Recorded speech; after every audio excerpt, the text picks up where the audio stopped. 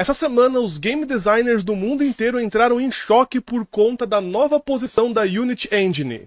A empresa que quiser usar o seu software agora, em vez de apenas pagar o inicial do software, vai ter também que pagar por install do jogador.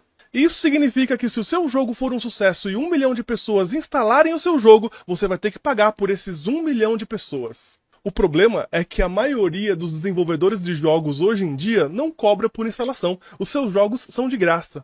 Sérgio Varanda, um executivo sênior da área dos games, colocou de um lado os novos preços da Unity e fez o seguinte comentário: Mesmo quando o jogo é de graça, as empresas pagam por marketing para tentar ganhar através de propaganda dentro do jogo. E se o jogo receber um milhão de downloads, essas um milhão de propagandas não vão dar dinheiro suficiente para se pagar os 0,2 centavos que a Unity cobra.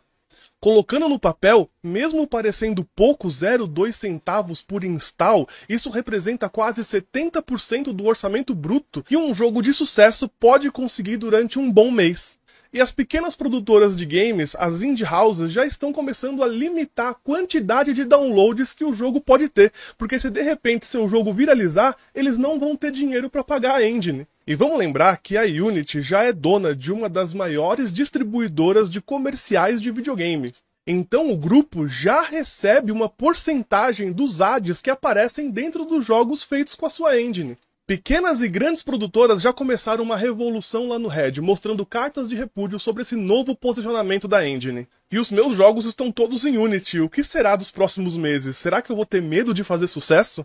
Ou será que já é tempo de correr para uma engine free tipo a Godot?